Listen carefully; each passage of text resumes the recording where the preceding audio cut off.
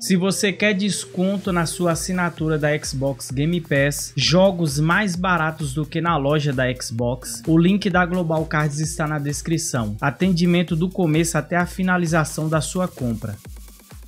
Mano, na última semana o pessoal tá pedindo muito pra fazer um Mitsubishi Eclipse parecido com o do Brian, do filme Velozes e Furiosos. E como eu sou fanzaço do Brian, nós vamos fazer aqui um Eclipse com as peças do Forza e com as características do filme do Brian. Pra além de ser um carro bonito, ele ser um carro competitivo também. Ah, e aproveita e deixa aí nos comentários, você acha que o Mitsubishi Eclipse é um JDM ou não? Tem o pessoal que fala que ele é um JDM e tem a galera que fala que ele não é. Então comenta aí porque eu quero saber sua opinião também. Então, como eu quero economizar, né, eu sempre recomendo compra os carros no leilão, que é sempre mais barato. Aí a gente dá uma reformada nele. Então, mano, a gente tá aqui na parte da oficina. Vamos começar logo aqui pela conversão, tá? Nós vamos colocar motorzão V8 6.2, super compressor centrífugo, para-choque do Forza para ele virar muito. Aerofólio do Forza fica legal nesse carro e parece com o modelo do Brian. Composto de pneu de rally para esse carro é excelente. Largura de pneu traseiro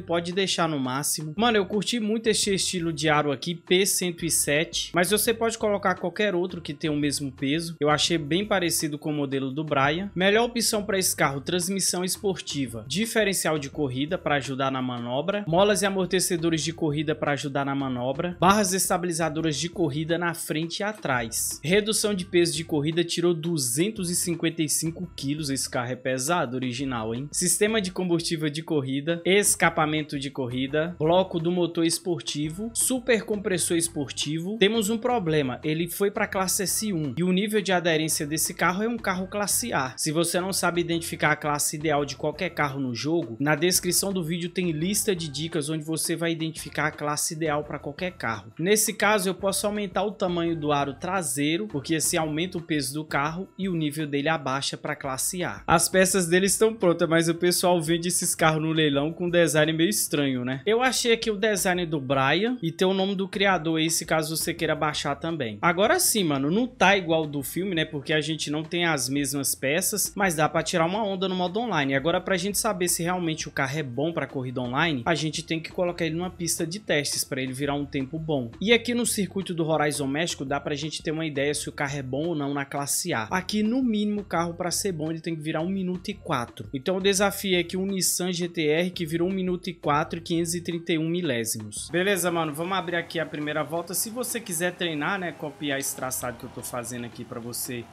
testar o carro na pista, recomendo demais.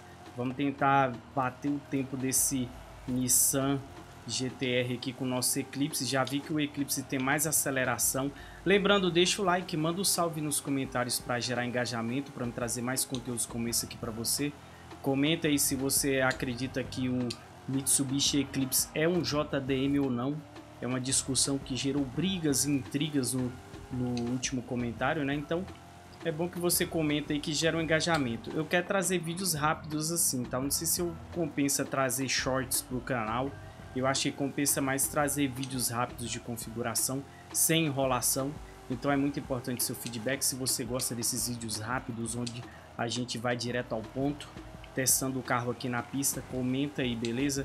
Eu já sabia que esse carro era bom, só que o cara tem que ter uma certa tocada com ele. Vou te mostrar a configuração de tunagem dele também, tá? Para você copiar as peças e a configuração de tunagem e até copiar esse tempo que eu fiz aqui também fez 1 minuto 3,928. Pode ser considerado um carro meta, 1 minuto e 3? Eu acredito que pode, tá? Pode ser considerado um carro apelão sim. Essa aqui é a configuração de tunagem, tá? Pressão de pneu, a escala de marcha só dá para mexer na transmissão final. Se você puxar mais para trás, ela vai ter mais de 300 km por hora, mas é bom você testar na pista se realmente compensa ou não. Alinhamento tá bem padrão. Barra estabilizadora eu deixei nessa configuração porque esse carro sai um pouquinho de traseira, tá? Molas e altura do carro não quis deixar ele muito alto, mano. Senão o pessoal vai reclamar. Amortecedores. Aerodinâmica aqui, ó. Se você acha que ele tá saindo muito de traseira, você pode aumentar mais a pressão aerodinâmica na traseira, tá? Pra ele segurar mais. Só que vai perder mais velocidade final. E esse aqui é o diferencial do carro. Eu deixei aqui em 65, porque se eu colocar 70 ou 75, o carro começa a sair de traseira. Então 65 ele começa a ficar mais de boa a traseira dele. Então fica veaco quando você fizer seu carro, você